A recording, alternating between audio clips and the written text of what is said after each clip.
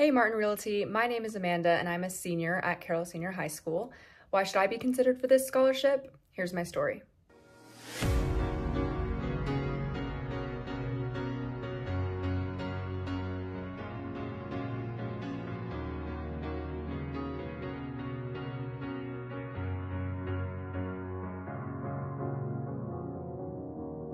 Gymnastics was the first thing I ever committed myself to. I loved the physical and mental challenge of the sport, and most importantly, all the people I met along the way.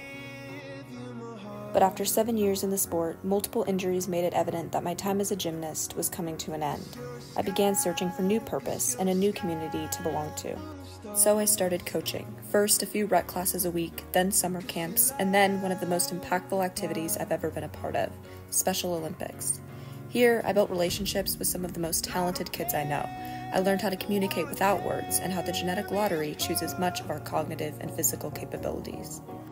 I fell in love with the subject of genetics for its complexity, mystery, and humanity. In class, I learned the science behind autism and Down syndrome, but on the weekends, I worked with athletes to overcome their genetically determined barriers. We often learn that genetics is what makes us different, but that's not entirely true.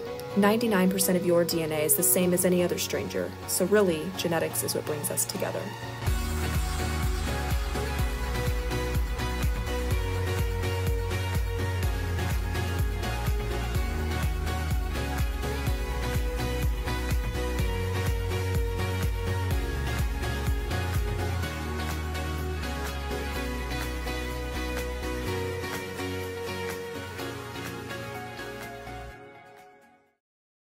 This scholarship will help me pursue a career in genetic medicine.